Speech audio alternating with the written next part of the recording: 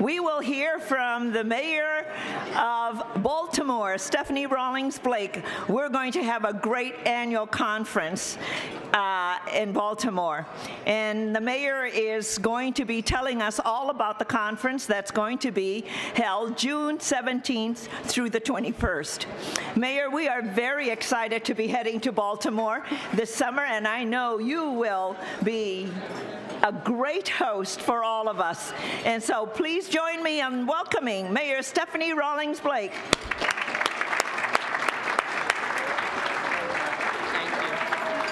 Thank you. Thank you very much, Mayor Kautz, for the introduction and for your enthusiasm about the conference. You have been a tremendous resource uh, for me uh, since I became mayor. And Tom, I have to say, thank you for the applause. I'm just glad you're still speaking to me after the video. so it is an honor for me to be here with so many of our country's great leaders at the conference. And it is also uh, Um, my pleasure to be your host at, for the June conference. So, by applause, can I hear who is coming to the mayor's conference, by June conference? Good, good, good, good. Sounds good. I had to do my check. I, I felt like Mary Tyler Moore about to host a party at her apartment. I just wanted to make sure everybody's going to come. All right. Looking good. All right.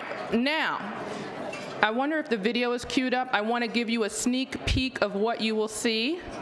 Are we queued up for the video? Yes, yes, yes. I can't see the screens. Are we? All right, I'm ready for the video, the sneak peek. Otherwise, I'm gonna have to start singing or something. Is it coming up?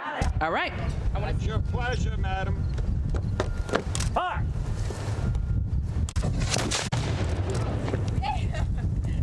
Oh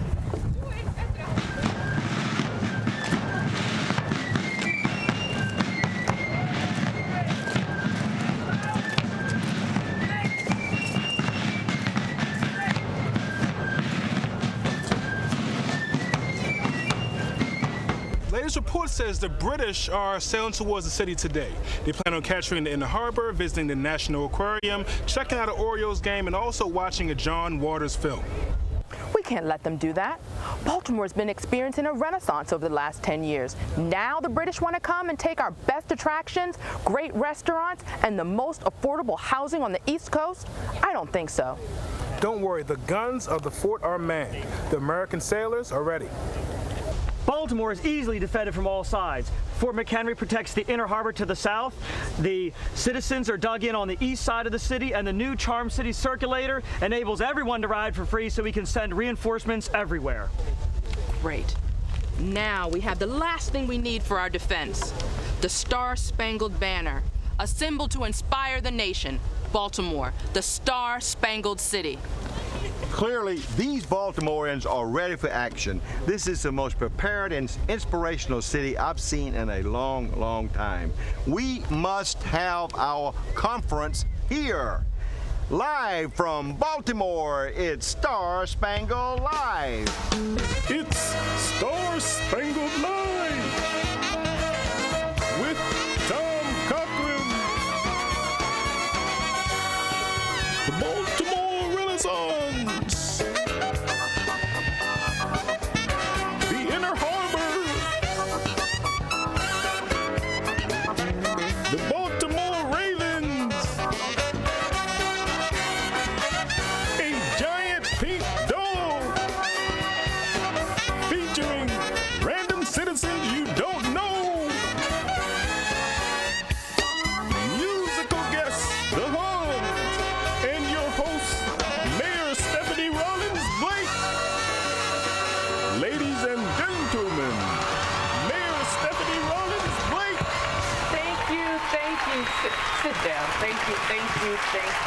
It is so good to be here in the great city of Baltimore hosting Star Spangled Live for the U.S. Conference of Mayors.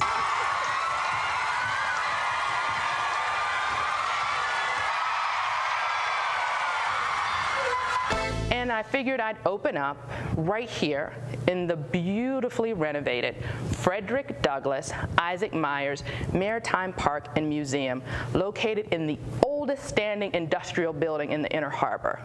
Rich in history, like all of Baltimore, this museum honors two astounding men with direct ties to how our city was developed around maritime trades. I even came up with a great stand-up routine to showcase some of the great things you can do here. But election year. So, Tom Cochran, no relation to Johnny, is going to help demonstrate some of the activities for me. There is something for all ages. Learn to caulk, build boats, and work together. Sounds like fun, right? Ah, this is killing me because I really am funny. But I can't prove it right now, just not in an election year. Seriously, I would love nothing more than to let my hair down and do something crazy, show my silly side. But as you know, there is nothing funny about a bloopers YouTube video in an election year. So, we have a great show for you here. Musical guests, the world famous Baltimore Hons. Come see Baltimore. You don't want to miss it.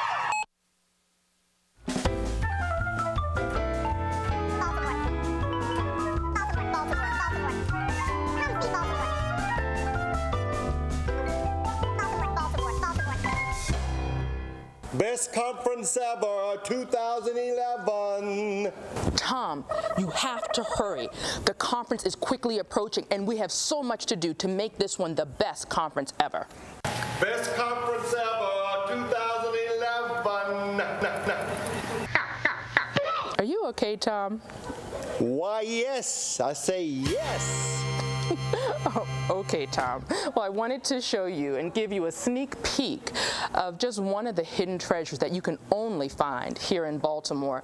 The American Visionary Art Museum brings to life American history as a mecca for forward-looking innovators, optimists, dreamers, folk artists, and doers in fun ways that make people happy. There's even a playful celebration of human joy here that is co-curated by the renowned creator of The Simpsons, Matt Groening. The Simpsons. I don't know what's gotten into you, Tom, but what do you like? I'll tell you what I like. I like a 15 foot tall pink poodle named Fifi.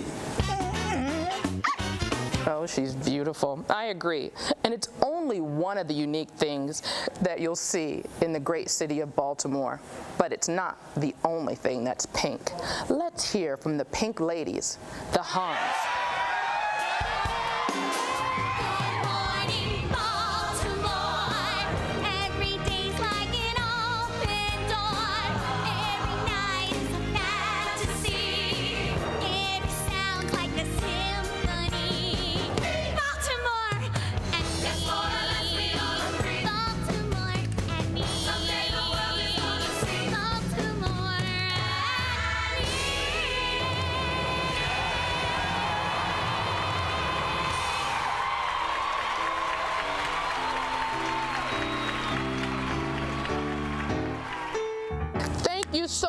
For a great show. Come explore Baltimore. You'll be amazed at what you find. See you in June.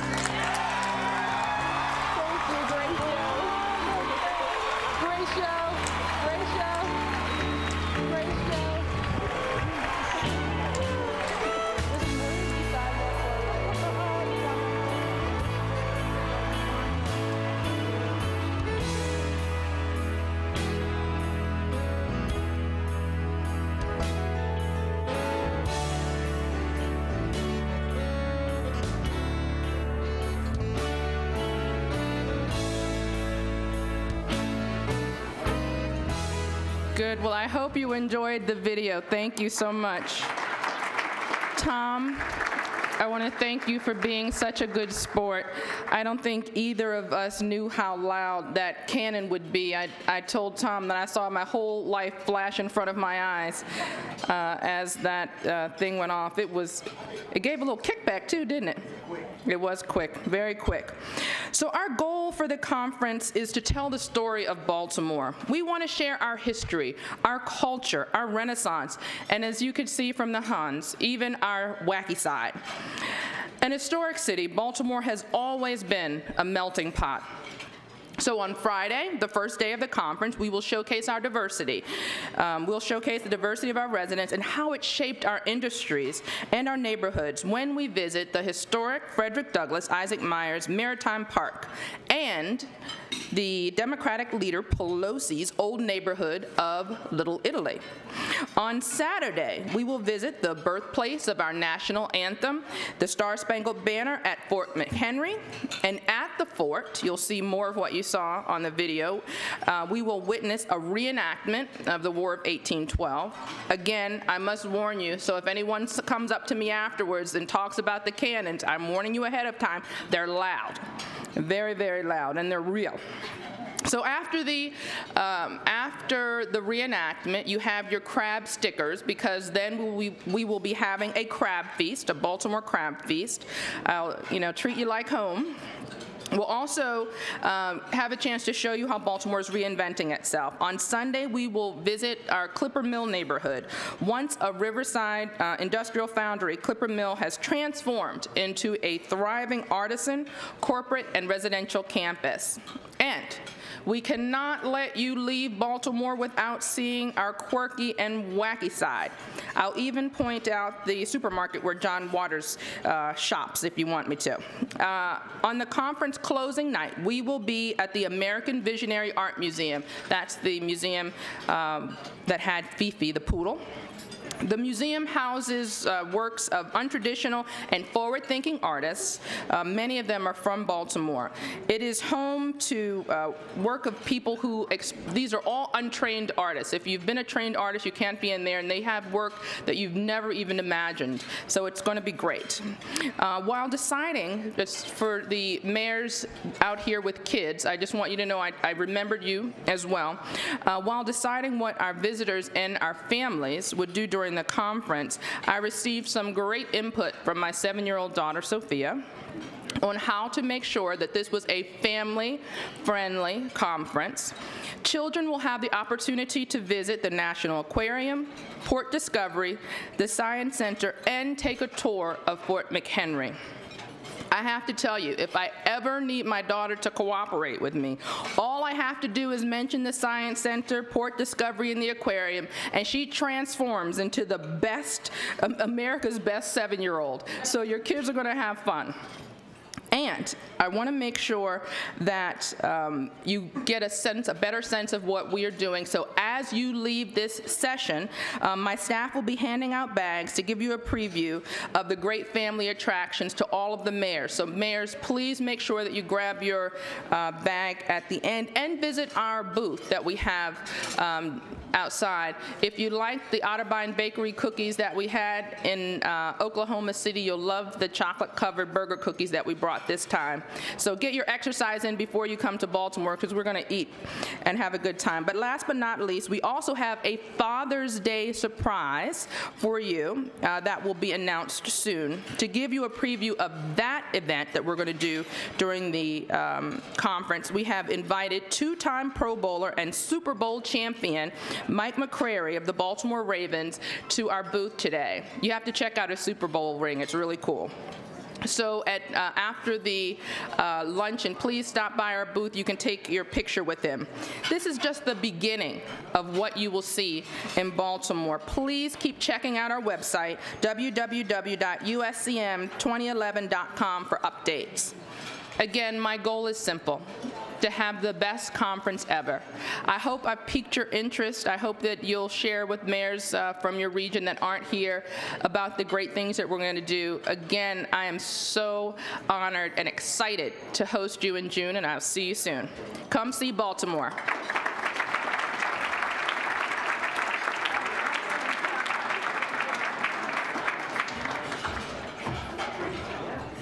Thank you, Mayor Rawlings Blake. We are looking forward to Baltimore, and I have my crab on. So, everybody go pick up your crabs.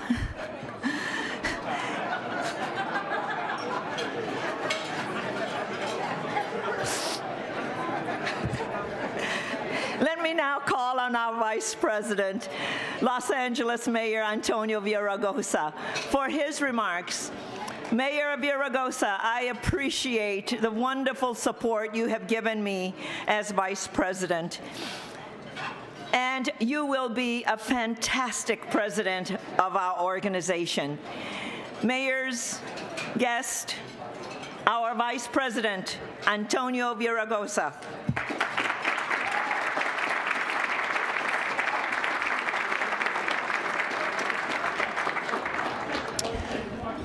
For whoever is doing the uh, teleprompter, you could turn it off. I'm not going to read a speech. But first of all, let me. Uh,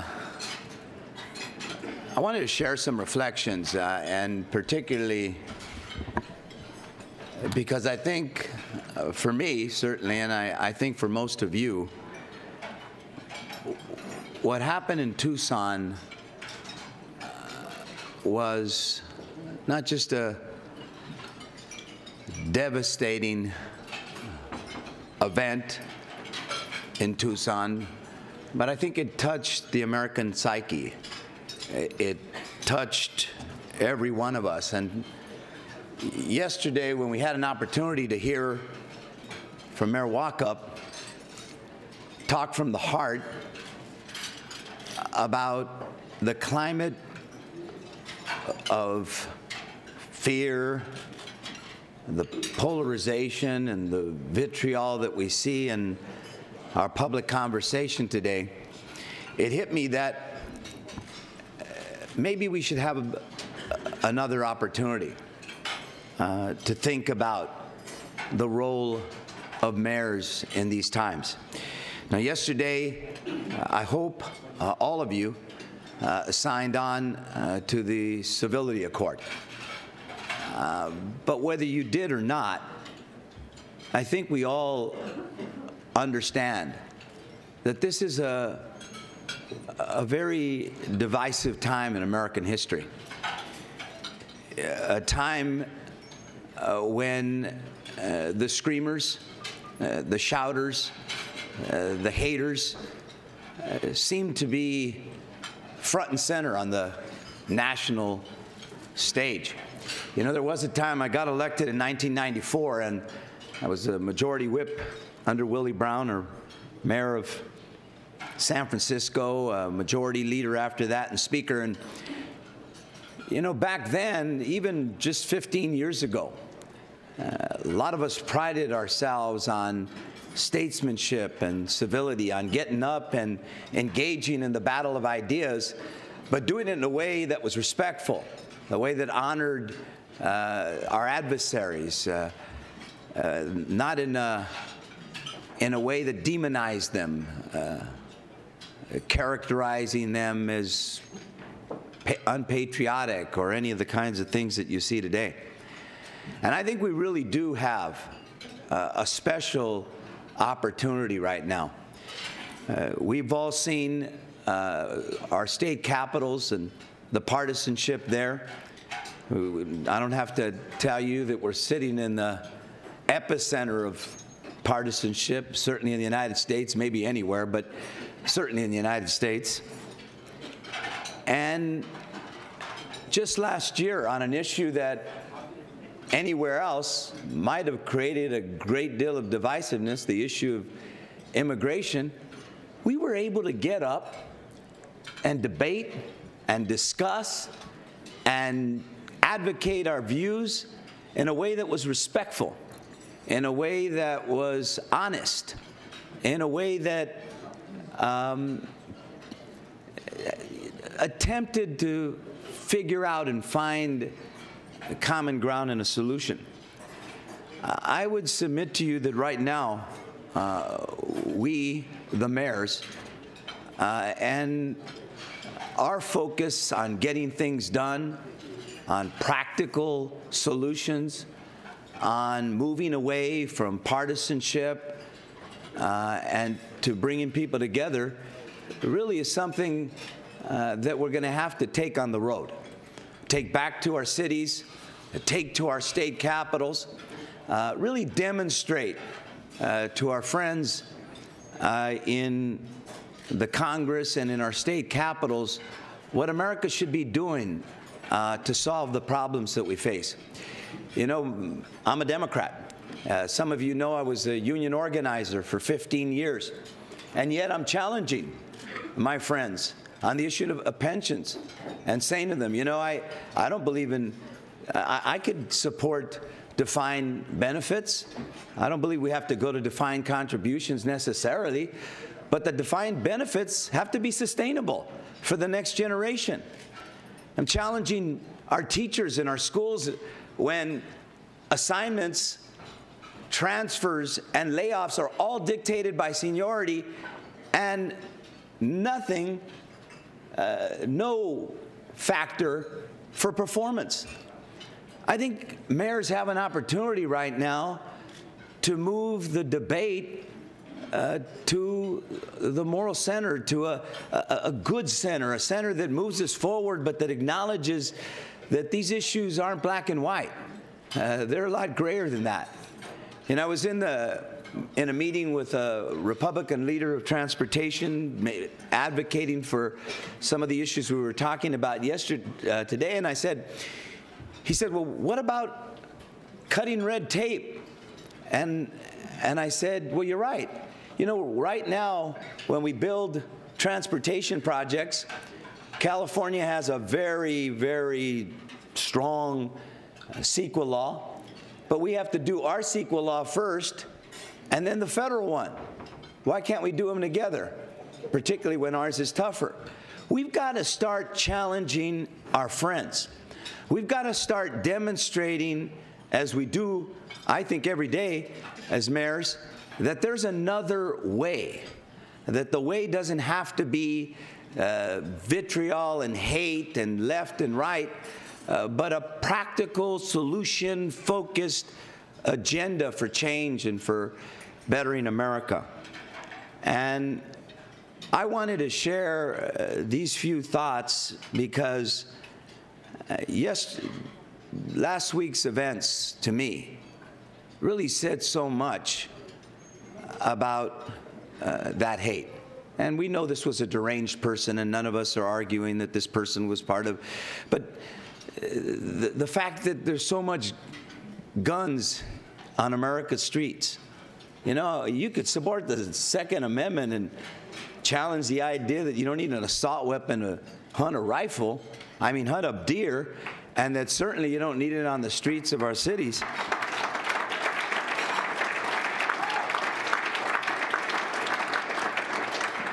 I think that the mayors uh, have an important role as the country is so evenly divided. As the Democrats have taken over or kept one house and the Republicans another, there's an opportunity uh, for us to get behind uh, those policies uh, that seek uh, middle ground. You know, Mayor Nutter and I, uh, who I think is here somewhere, uh, got behind President Obama's tax cut compromise. And we did not because we loved it. You know, we, I don't think anybody wanted to extend the cuts, uh, tax cuts to the rich, and particularly cut the estate tax from 55 to 35, but they won. And we've got to figure out a way to move ahead. And we got unemployment benefits, and we got a number of other things, you know, uh, the payroll tax, and uh, we got a number of other things that moved us ahead. And so as we uh, get ready to go back home, uh, I think we all need to continue this conversation that Mayor Walkup began, and I just mentioned you, my friend. Uh, um, yeah, well, thank you for your leadership, and uh, Second Vice President, uh, Mr. Nutter. And so, as, as, we go back to our cities, uh, I hope that we uh, begin to continue this conversation in our neighborhoods, in our town halls, about civility and statesmanship, about collaboration and cooperation and compromise, about the idea that, you know, that these solutions aren't left or right. There, has got to be a, a, a common ground and a moral middle. And I think if we engage those neighborhoods and those community town halls, as we go to Sacramento and we begin to push ideas that, you know, hopefully can bridge this divide, then maybe uh, what happened uh, in Arizona uh, will, will be a conversation that will lead us uh, to a higher ground, uh, to a common uh, agenda, uh, to a moving away from vitriol and to uh, the kind of harmony that comes when you work together and you respect one another. And so, again, to Mayor Walkup, uh, to all of you uh, who got behind uh, the civility accord, uh, please uh, go back to your cities. Uh, go back to our communities. Begin when you go to those state capitals and talk to our great governors, one of whom we have right here uh, under this dais. Uh, let's begin this conversation of civility and compromise and moving America forward. Thanks so much.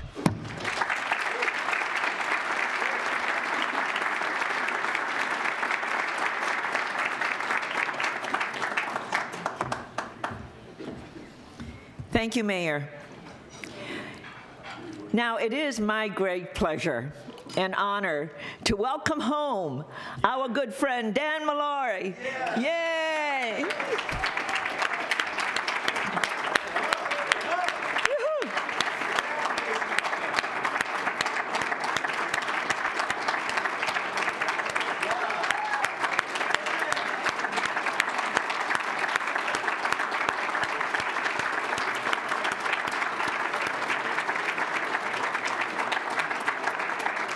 When Dan was with us, he was mayor of Stamford and a trustee of the Conference of Mayors.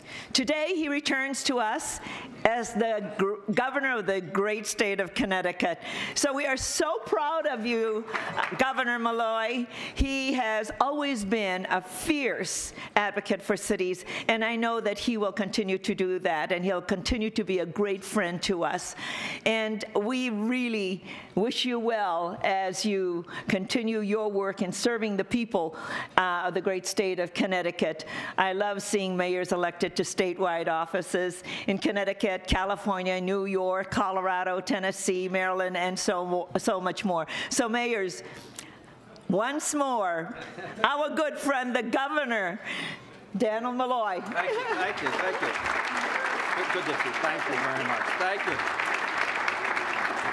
Mayor, uh, thank you for your friendship. Uh, we traveled together, we've worked together.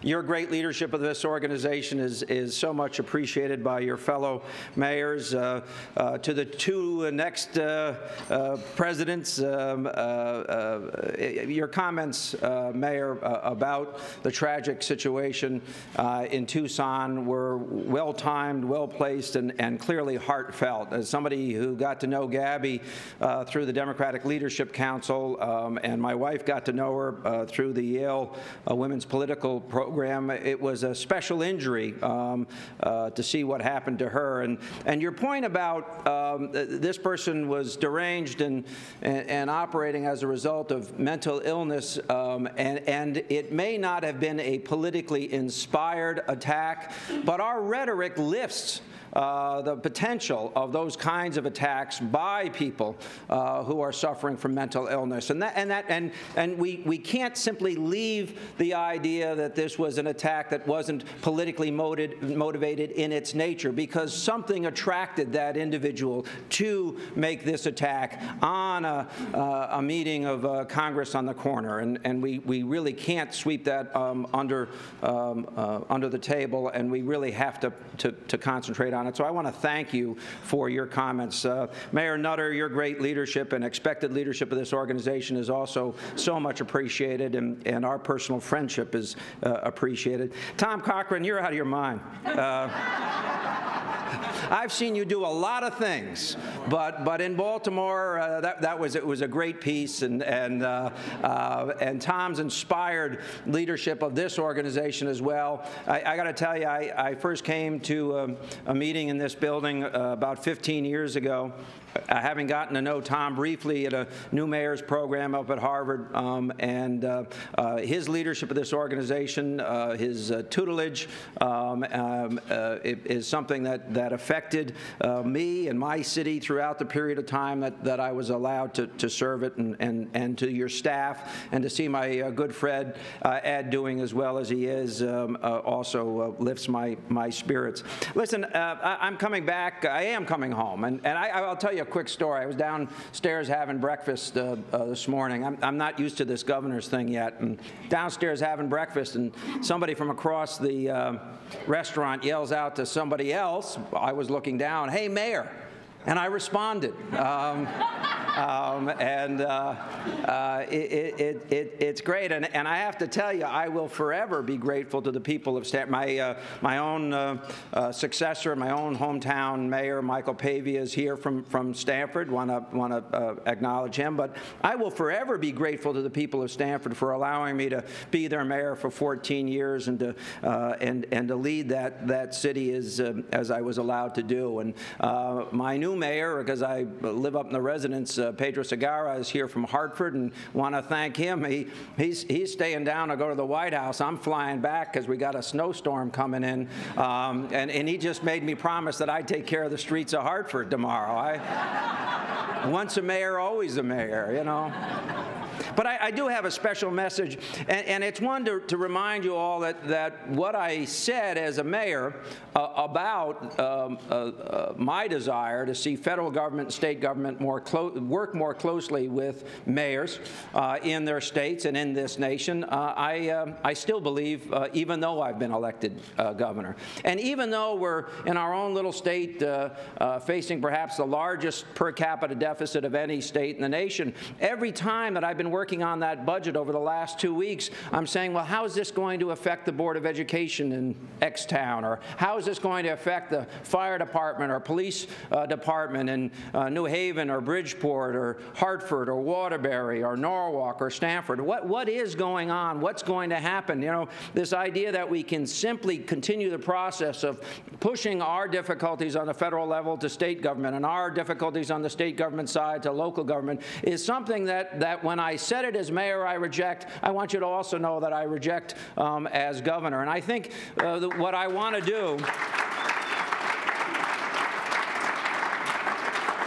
what I want to do is, is to uh, uh, champion a discussion on a different level uh, between the governors, uh, and there are so many new governors of the United States, uh, and, and their local leadership, the mayors. And, and this might be a good time to do it. You know, we got Hickenlooper from Denver, um, and we have a new governor who served as mayor of Knoxville, and we have a new governor up in Maine who served as mayor of Waterville. Um, Governor LePage. And, um, uh, you know, we, we and, and, of course, we have our good friend Martin O'Malley uh, serving um, uh, the people of Maryland. What we've really got to do is start having a dialogue about how these levels of government find a way to work together, to have that dialogue, to make sure that, that we are getting things done much more rapidly. You know, when I was a trustee of the conference, uh, I joined all of the discussion um, uh, on the uh, early shaping of ARRA, including some of the wins that we had um, as a conference, particularly on the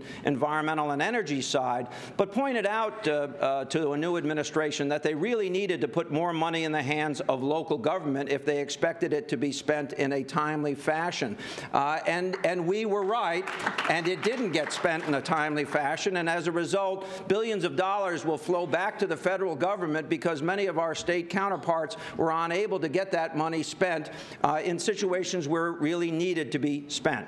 So I want to work with this conference on issues that we really share together, governors and mayors. Education, infrastructure, including mass transit uh, and rail where, where um, uh, appropriate. Jobs, and particularly green jobs. And so many of us uh, in cities are hurting because of the lack of creation of jobs, not just since 2007, but over a 10 and 15 and 20 year period of time. Um, and, uh, and so I'm going to uh, work with the, with the other mayors, now governors, to make sure that we change the dialogue and that the U.S. Conference of Mayors as, is seen by the National Governors Association not as someone to spar with, but as someone or an organization, I should say, to work with more closely than perhaps sometimes the lip service has indicated was actually happening. So uh, I, it's a great pleasure for me to be back here with so many people who I respect. Um, actually, 10 people from, from the state of Connecticut I saw on the, uh, on the roster, uh, and to all of you. Let me say this one, one final message. You know, I, I, was blessed for 14 years to be the mayor uh, of the city of Stamford, and I can't imagine uh, any greater privilege than serving uh, the community in which you, your spouses, your children reside. Uh, enjoy what you're doing. Work hard every day, as I know you do, and the fruits of your labor will live long after you do. May God bless you all, and thank you very much for having me back home. Thank you.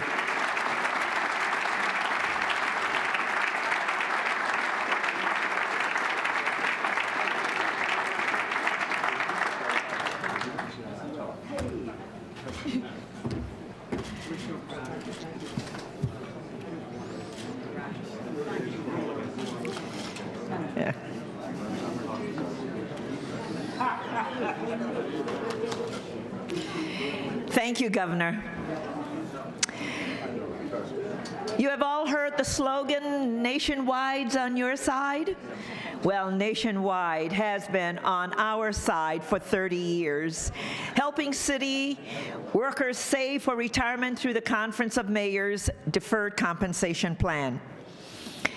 Nationwide's extensive knowledge of public sector retirement plans, leadership in the deferred compensation area, and ability to offer a number of tools to educate city officials and their employees make Nationwide the best in the industry. Here to tell us more about Nationwide and our 30-year partnership is Louis Watson, Vice President of Strategic Partnership. Louis?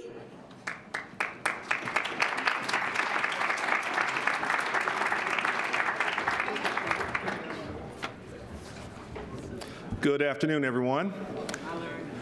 Uh, nice. Uh, Mayor Kautz, thank you so much for your partnership and your leadership. Tom Cochran, we thank you very much. Truly, it's been 32 years since we've started our partnership with the U.S. Conference of Mayors. Uh, and in that 32 years, we've accomplished significant things in helping city workers save for retirement. Uh, Nationwide Retirement Solutions has been on the forefront of helping city workers and um, public sector workers around the country save for retirement. Now, there's a parallel with the 36 years and the 32 years. That's a long-standing commitment that we have with the Conference of Mayors as well as with city workers.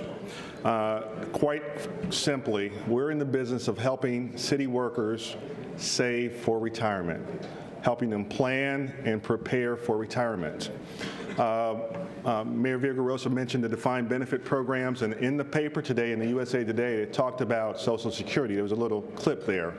When you talk about Social Security and your defined benefit program, deferred compensation is just a component of that will, that will allow your employees to live comfortably in retirement. And that's what we're here to do with your employees and in your cities.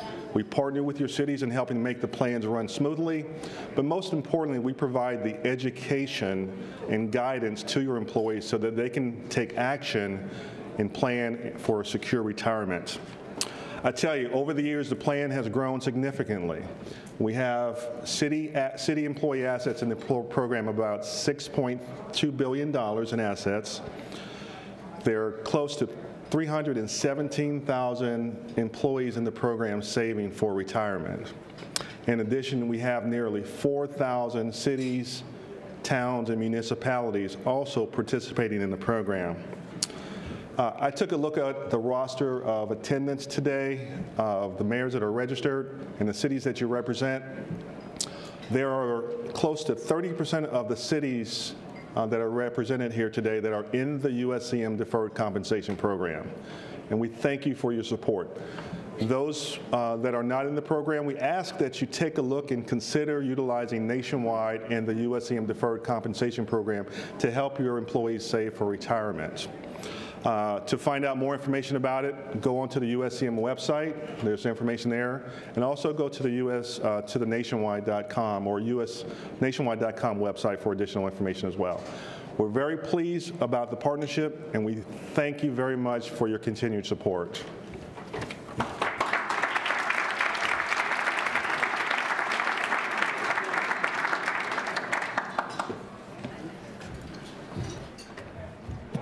Thank you, Louis. Now we will hear from one of our longtime trustees, Arlington Heights Mayor Arlene Mulder. Mayor Mulder and her guest will be discussing something that is very important to me, how we help support our returning troops. Please welcome Mayor Arlene Mulder.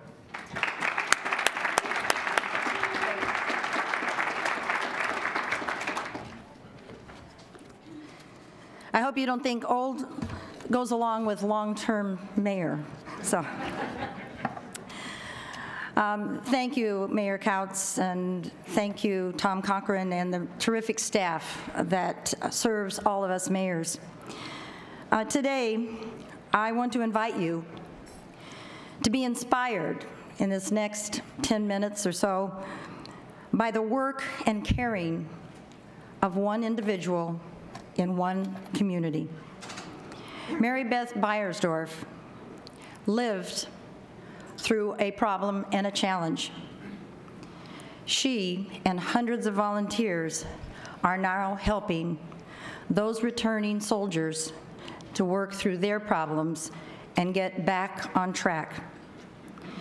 Today, we're celebrating the, 20, uh, the 50th anniversary of JFK's inaugural uh, speech, and he challenged 50 years ago the nation to ask ourselves what is it that we can do to make a difference in someone's life? What can we do for our country?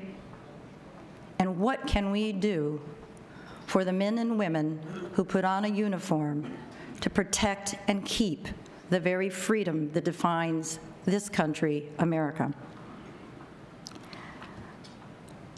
I want to share with you, on behalf of Salute and its founder, Mary Beth Beiersdorf, who will speak uh, after a video, what one person can do to support our soldiers who have served us, and we need to serve them. Please roll the video.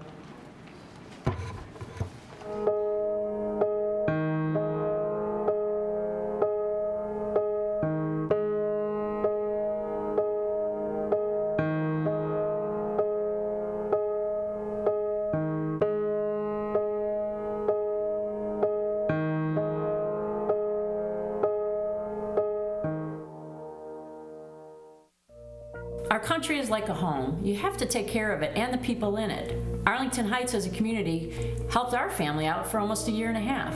Now, almost 10 years later, we're helping hundreds of families across the United States. I receive applications from all over the country every single day. Behind each application is a soldier and their family and a story. You know, and it's sometimes filling in the gaps, and the gaps could be the ruin of their family and making them feel like they're a part of our Salute family. And they're always surprised when we can help them a lot more than they even anticipated. I mean, and this is the real reality show.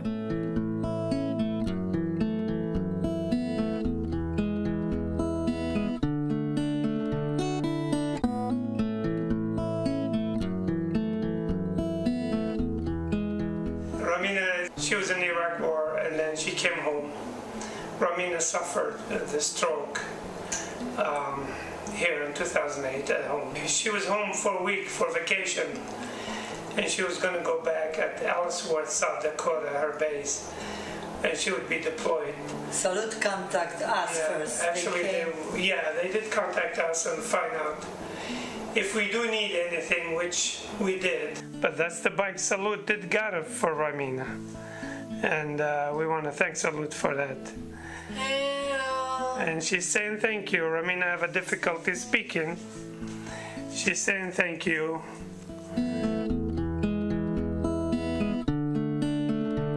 Was a builder constructionman in the United States Navy. While on active duty, I was diagnosed with a massive brain tumor that left me 100% blind.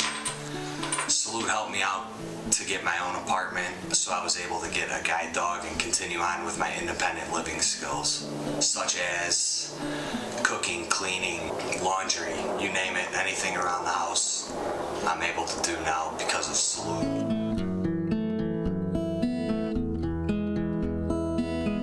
People at Salute in Arlington Heights have helped me get my business off the ground. After being injured in Baghdad in 2005, I went through a very difficult time of figuring out what I could do to make some income. Without the muscle in my arm, or the muscle that I'm missing in my arm and my finger and my hand, it fatigues to the point where I'm, I can't finish any of my portraits in the time needed to actually finish them to make money. So they allowed me, they purchased this airbrush for me, and uh, this is this is the primary tool up here at my shop.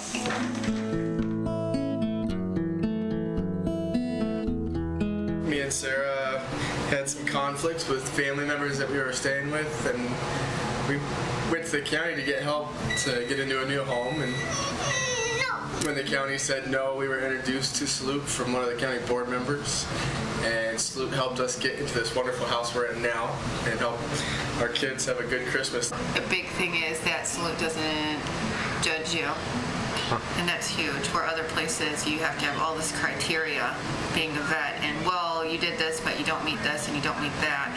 And with Salute it's especially well, Mary Beth is who I, I talked to one on one and she just called me and feel like I can just talk to her and um, she just talks to me like a friend. And that's really, really important because uh, you always feel like you're being judged as a vet.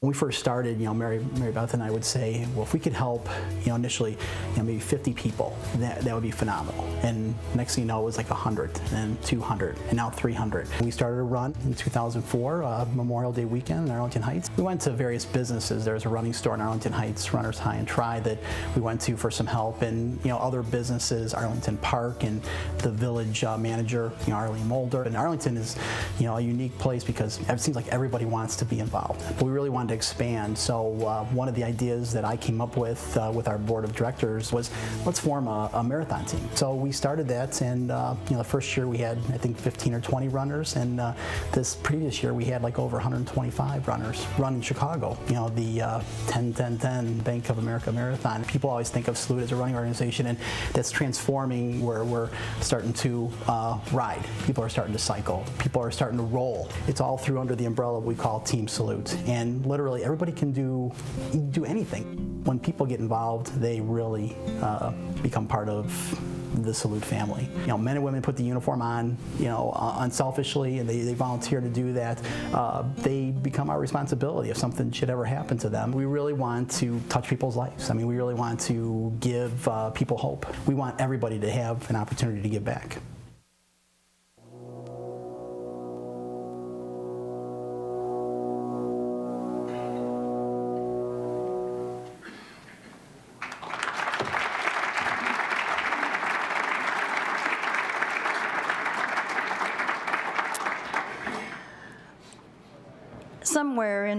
Term of office, um, I came to realize that all people fall into one of two categories. We all have a lot of non-for-profits in our communities, and we know that there's many needs. So unfortunately, some people fall into that category, people who have needs and need your help. If you're not in that category, you're in the other, and that is to accept a responsibility to do what you can or what your corporation can to help those in need. Our military, we know that they are there to defend that freedom. Don't you think we owe them something? Mary Beth's story uh, is compelling, and Salute was an outgrowth of her experience. So, um, Mary Beth, if you could come up and tell us what life was when your husband got deployed.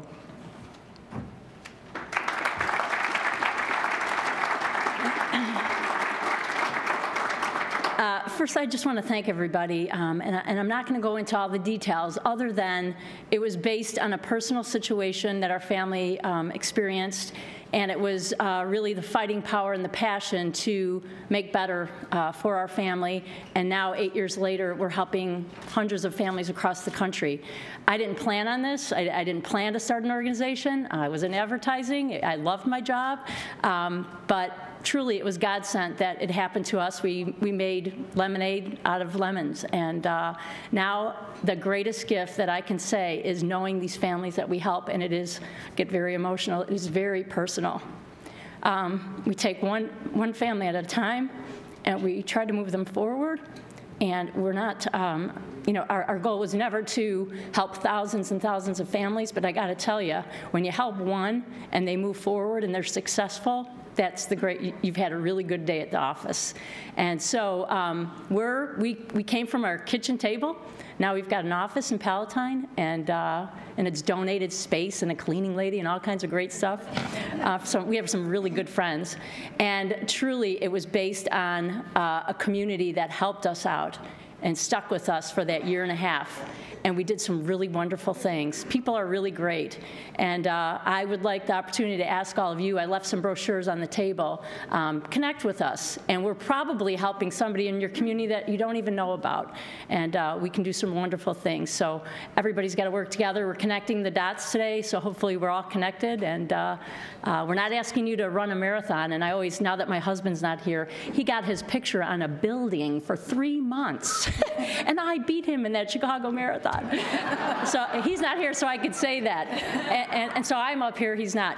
But um, we, we trained ourselves, we changed our life, we did some enormous things, things that we never thought we could do, and uh, we could do the same thing in your communities with your help. So thank you. It was nice meeting everybody, and have a really great day.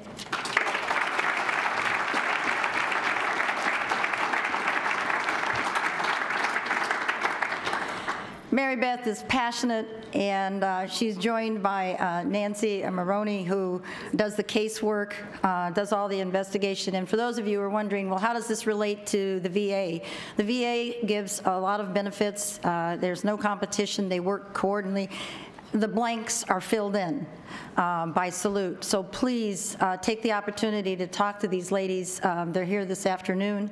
Um, We want you to sign, this is a wonderful piece of art. We started the morning with art, uh, and we would like as many mayors as possible to please sign. Uh, And I'm going to um, do that uh, as soon as I conclude with a poem that I've used, and I uh, ask your forgi- forgiveness if you know this by heart, but I think it says so much. The title of this poem, It's the Soldier. It has always been the soldier. It is the soldier, not the president, who gives us democracy. It's the soldier, not the Congress, who takes care of us. It's the soldier, not the reporter, who has given us freedom of speech and, excuse me, freedom of the press. It's the soldier, not the poet, who has given us the freedom of the speech. It is the soldier, not the campus organizer, who has given us the freedom to demonstrate. It is the soldier who salutes the flag, who serves beneath the flag, and whose coffin is draped by the flag that allows the protester to burn that flag. I thank you.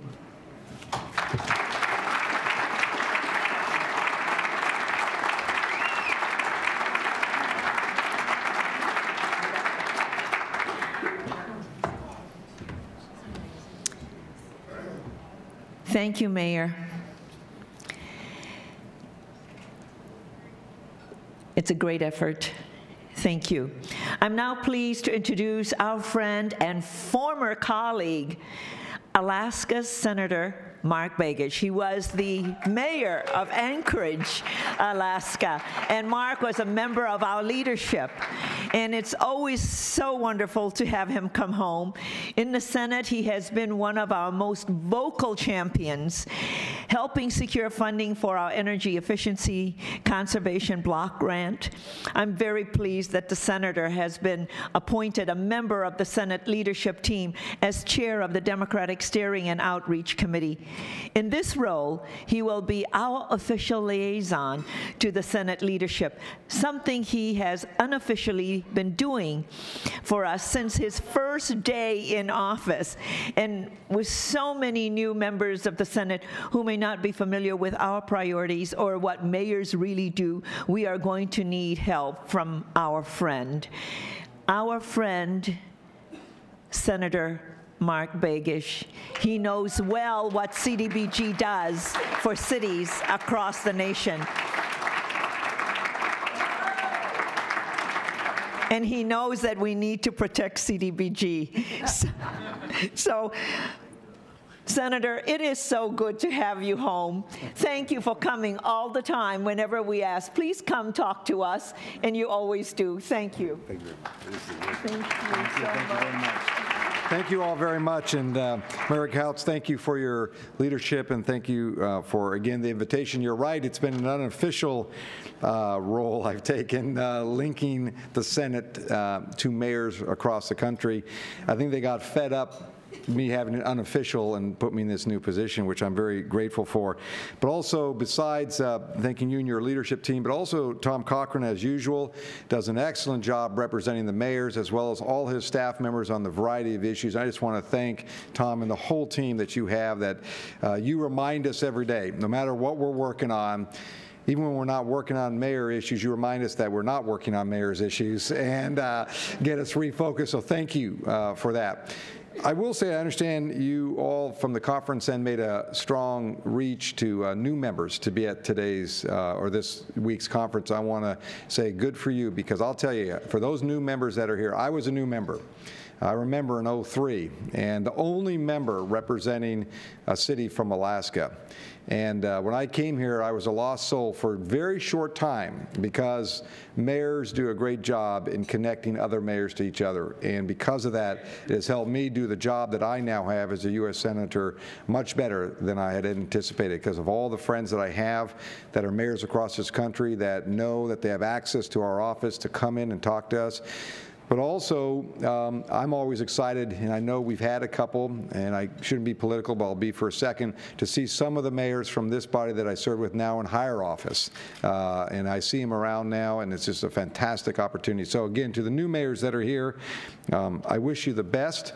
There is no harder job. I don't care what anyone says, even now as a U.S. Senator, is no harder job than being a mayor of a city. And I loved uh, and enjoyed when the snowstorms hit. It was the mayors uh, that were out there shoveling snow and doing all kinds of things. And it just reminds me uh, that mayors are hands on and clearly understand the value of ma making their job and doing their job every single day. So thank you for the work you do. I want to just give you uh, two or three issues that the the conference is very good about these things. They they say, okay, we'd like you to come speak. Oh, by the way, here's what we want you to speak about. Um, and I look and say, well, these are all mayor's issues. That's right. Keep focused. Um, so uh, let me just say that uh, the, the the 112th Congress is going to be busy. It's very different than what we just went through, as you know, and mayors, again, knew this ahead of time before the Senate and the House, and even the president's folks knew this, the economy and where it was three, four years ago and what was happening, how quick it was deteriorating. The last two years, we've spent a long uh, effort to try to get the economy back up. We got a lot of work to do still, but the fundamentals are better today than they were two years ago. I know as mayor, sometimes you feel like it's never ending, uh, the cycle of what we're uh, experiencing in this economy, but it is better. We can start seeing some of those efforts, but we have a lot of work to do. And our number one priority of the Congress has to be on job creation and ensuring that the tools are available for not only you that are on the front lines as mayors, but also the private sector to create those jobs that are critical to move this economy forward. So that's our number one priority. Now, in relation to that, there are specific programs that we know, and I know personally, impact the work you do and the job creation you do. First is the highway reauthorization bill. We know this is important to get done. Now, the problem we've had, and one thing I've learned about the Senate, is if you can push something off to another day, we'll do it. Um, that's not what we can do as mayors. I remember that. You push that off to another day, usually you'll hear about it at the grocery store from a constituent who's very upset at you, or your city council or assembly will uh, torture you for a little while because you pushed it off. So here, you, you know, we kind of push things off. Highway transportation bill, the highway reauthorization bill, I believe is going to be one of those bills we deal with this year. CDBG is another, energy block grant. But let me first, if I can, a little bit on the highway transportation bill.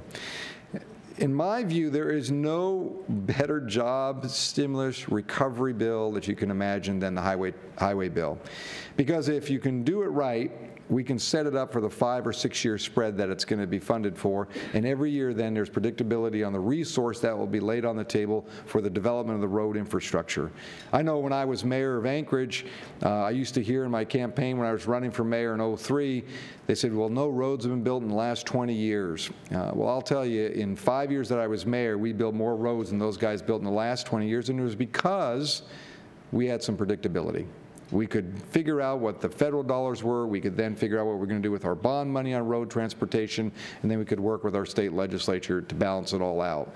So we have a huge obligation with regards to the reauthorization bill. There is a group of us, a growing number of us, uh, that have determined on the Senate side that we cannot continue just to add two months to it and three months to it, that we got to fund this thing put it to work and make a difference uh, for cities and communities all across this country. Um, so be prepared. Some other ideas, and this is one idea that I hope to insert uh, and I'll probably reach out to you all to help here if you support it. I think you will. As a former mayor, uh, our big struggles were always when we had the Department of Transportation tell us all these great federal regulations that we had to follow to build a road or an intersection or a sidewalk or a trail. Uh, you'd pull your hair out, you'd spend more money, more time. So one of the concepts, and it's just a concept now, is if you are a community, that have roads to be built or transportation networks to be built, and you've had a good relationship, meaning you have not had violations or minimal violations from EPA, that you could take that federal money use your city process of how to build a road or your state process, whichever one you utilize in your own community, and use that to build the, the road with the federal money rather than a federal system. It's a very simple one, it will save money, it will save time. I will give you one example in my community, and you all, you know, it's like preaching to the choir when I come here. We had an intersection that was obviously four entrances into the intersection, two, two owned by the state, two owned by the city. Now you can visualize that for a moment, right? And it required federal access to it, and so you add all that into it. It was our worst intersection in the community in the sense of traffic, fatalities, accidents. Hadn't been touched, no one touched it. We had two gas stations that were one was going out of business. Now, the way it works in the federal funding, as you know, you can't go buy right of way until you do all these studies and go through. So, um, as mayors do, we are innovative. And uh, so I had our land trust group buy the gas stations as investments, um, not a road project, an investment. Uh, and uh, as you know, how you get federal reimbursement funds, you can't buy right of way ahead of time. So it was an investment. Um, but the idea was to fix this intersection. So we did do it. By the time we were done with this project, which really just got finished recently, uh, we saved probably two to four million dollars in that project the way we did it. We saved and probably shaved off a couple years off of that project. It made no sense, the federal regulations of why that was done. So we see an opportunity with the Federal Highway Transportation Bill, not only deal with the funding, but streamline it in such a way that you have better access to those resources, especially if you're a community that has done a great job in building roads and transportation networks, and streamlining it, saving money, saving time, which of course means more resources than for more projects instead of spending time just to do the inflationary adjustment. So we'll be back at it. Uh, the Community Development Block Grant. Now this one, uh, you know, it seems like every year when I was mayor, I'd get a Tom Cochran and his team would send me a, urgent email, contact your delegation, save it from crushing uh, defeat, it's going down, blah, blah. And we would get out there, and I would encourage all of you new members, uh, this is a great tool when they send you these emails because they got, they have the pulse of what's going on around here. And when, we, when they sent those, we would do some press events, some activities, which of course I'd encourage you to do, invite your congressional delegation to them. Because there's no better program to leverage federal resources than CDBG. When you see the leverage point, you know it better when you spend those dollars, the federal government comes in, the leveraging factor with your nonprofit organizations uh, that you're working with or other projects you're doing is unbelievable. So we were able to show that in the job creation, and we're able to continue to kind of hang on to it. But this year's going to be tough. I just came over here. I haven't read the whole list yet, uh, but a group on the House side have predicted or proposed two plus trillion dollars of reductions uh, in discretionary funding. Well, CDBG is considered discretionary funding. So that means it is at risk once again. Uh, but there is no better, and I would spend the time with new members to the Congress, educating them on the value of this from a very localized standpoint.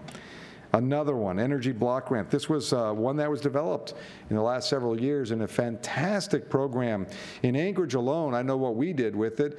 We took a, we did the largest single project before people started doing it, and that was converting our city lights uh, to LED lights and saves hundreds and hundreds of thousands of dollars every single year in our energy costs because of the project.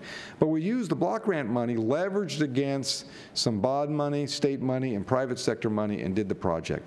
So the block grants have a huge capacity. You know it better than I do. It's, I know it's one of the priorities of the conference.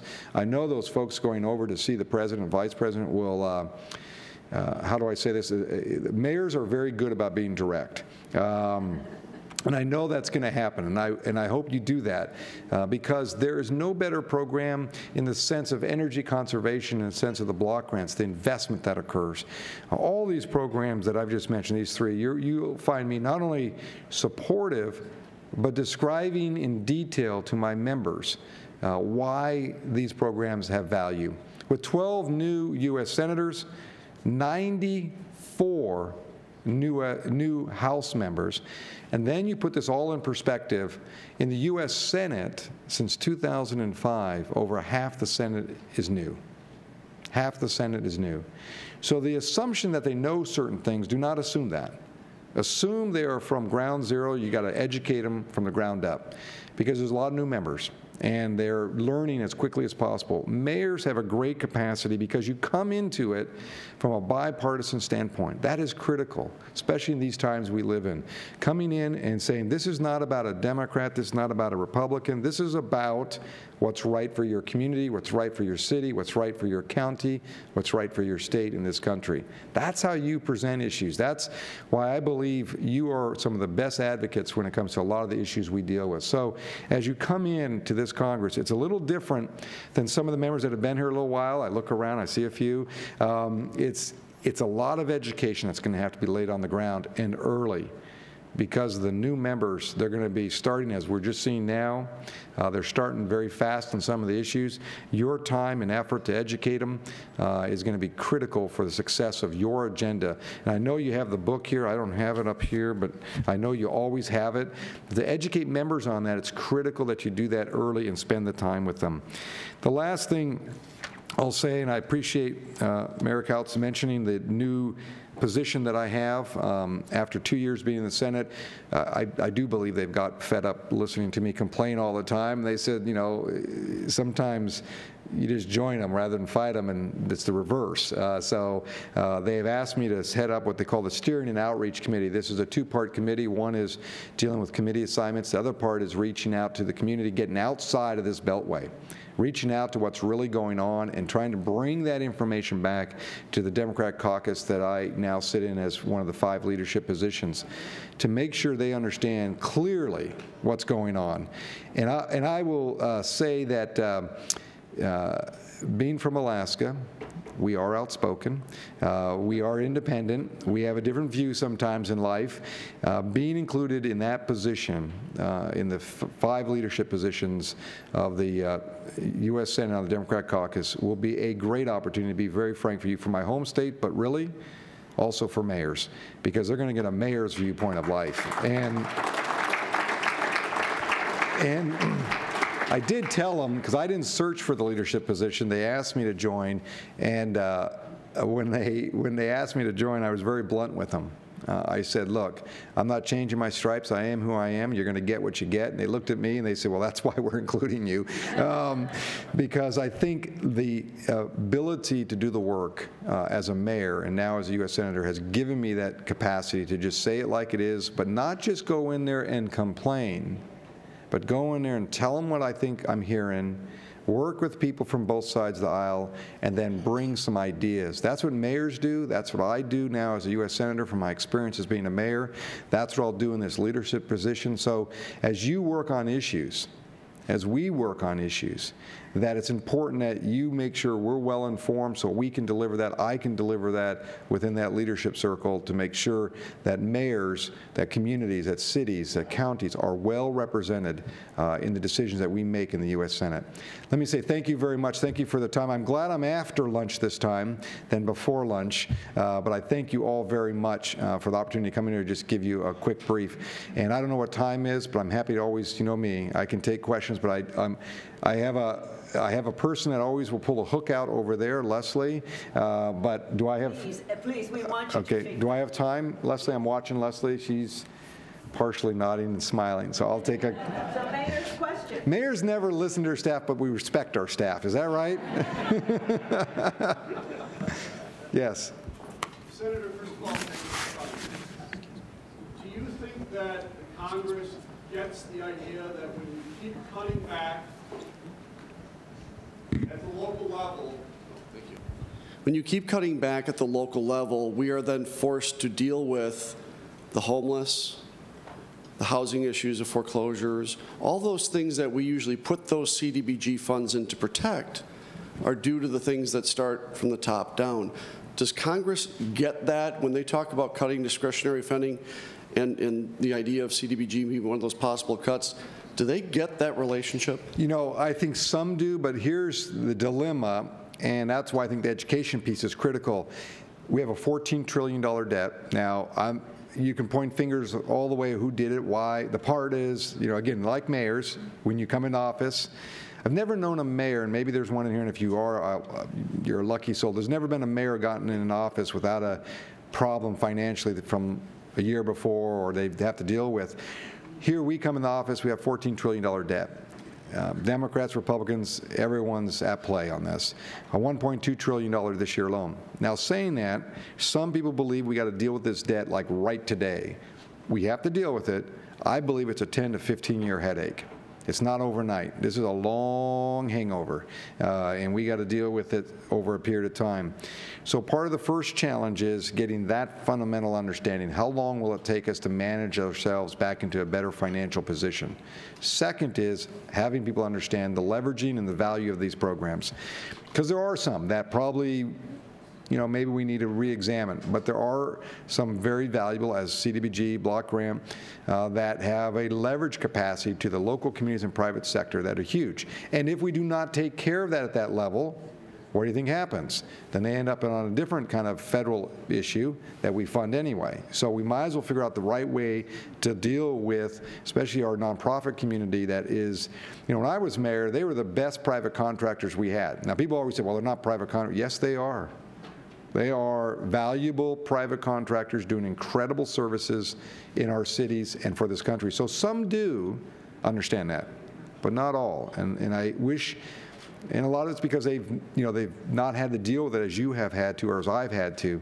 They deal with it from a different perspective. So part of it is to educate them in a very fundamental way of here's what we do with this money and here's what it does and saves the federal government from expenditure in the future because we're getting homelessness people into job training, into transitional housing. Net result is they become productive parts of our society. But, but we have to uh, educate. Uh, so some do, not all.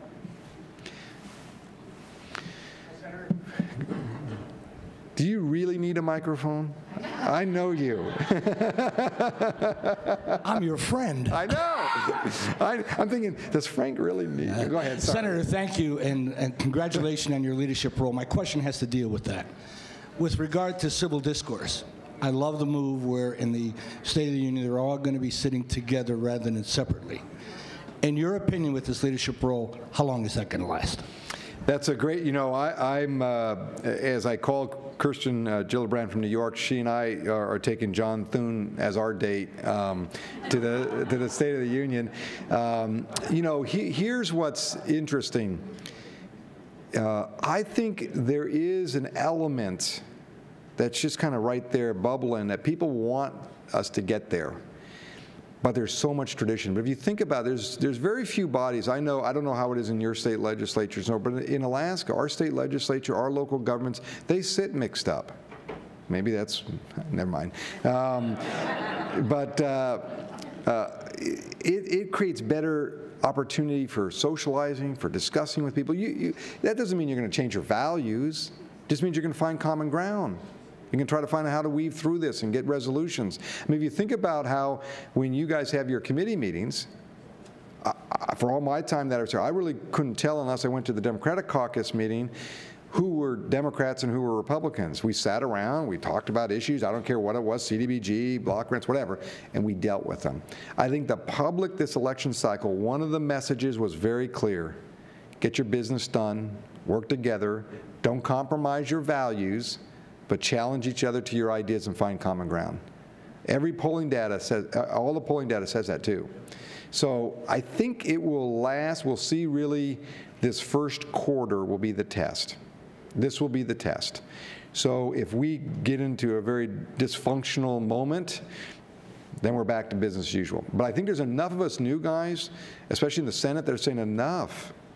You know, we came here to get work done. I, am I going to have great arguments with maybe people on another aisle when we disagree, and within my own caucus? Yes.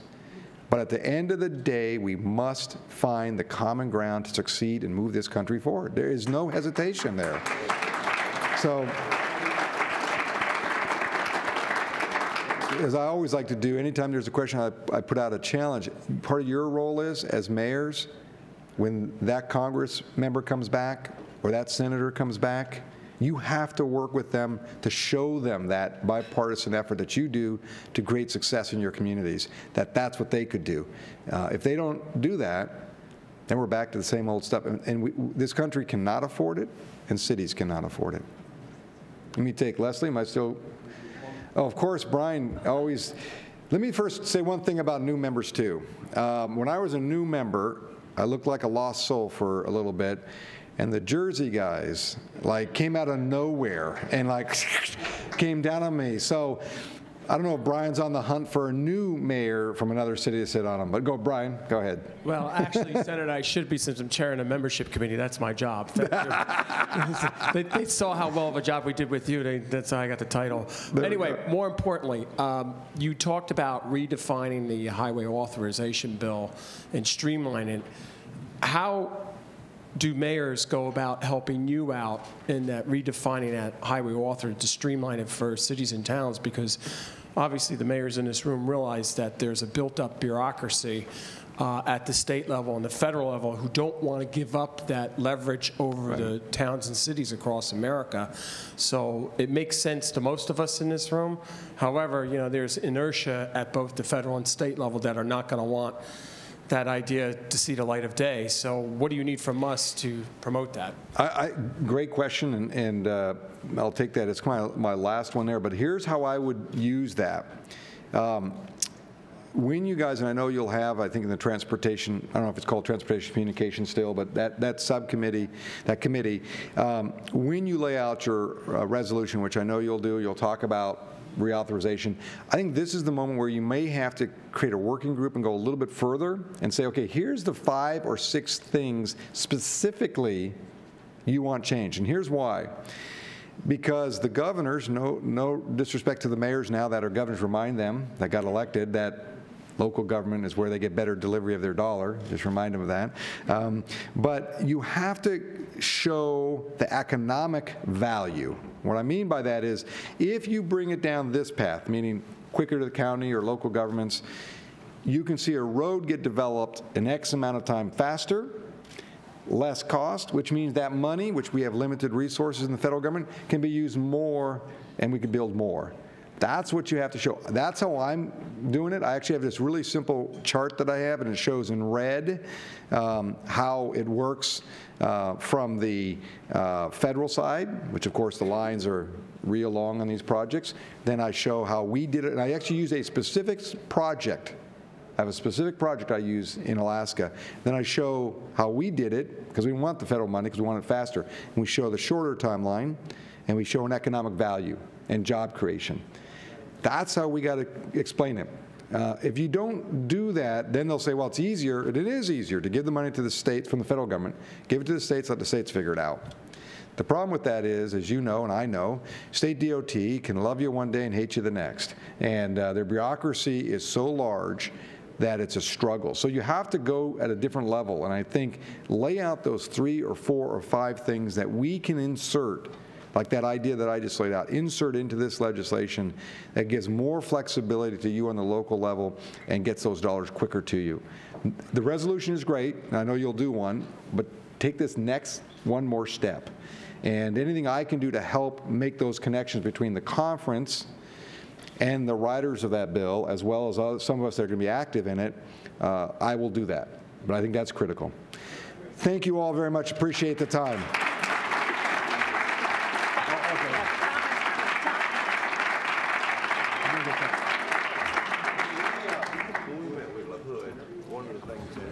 we were talking to him about is that the president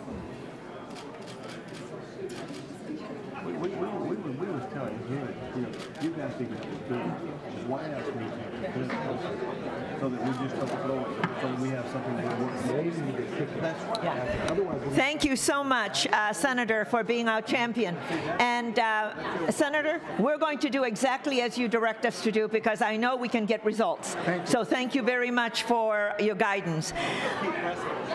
I want to uh, um, announce a change. The Democratic mayors are going to meet 15 minutes early because of the change of the schedule of going to the uh, to the center, to the Kennedy Center.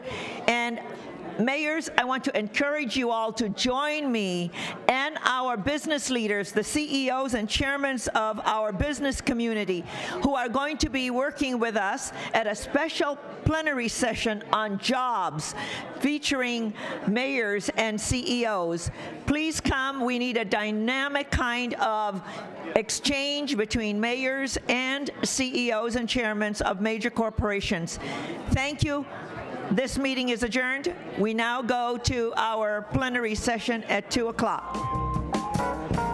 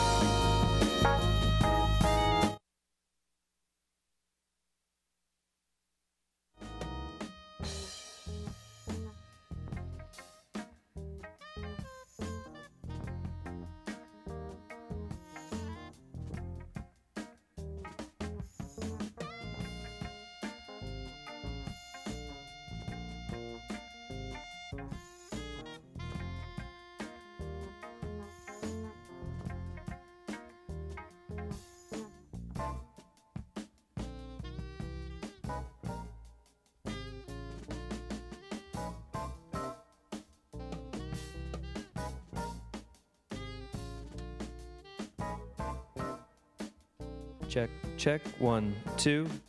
Check, one, two.